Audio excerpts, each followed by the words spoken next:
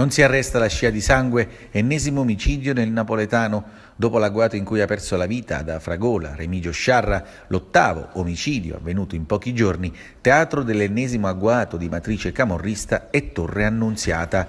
La scorsa notte un comando ha fatto fuoco contro Alberto Benvenuto Musto. 32 anni, già noto alle forze dell'ordine. L'uomo è giunto cadavere all'ospedale di Bosco Treccase.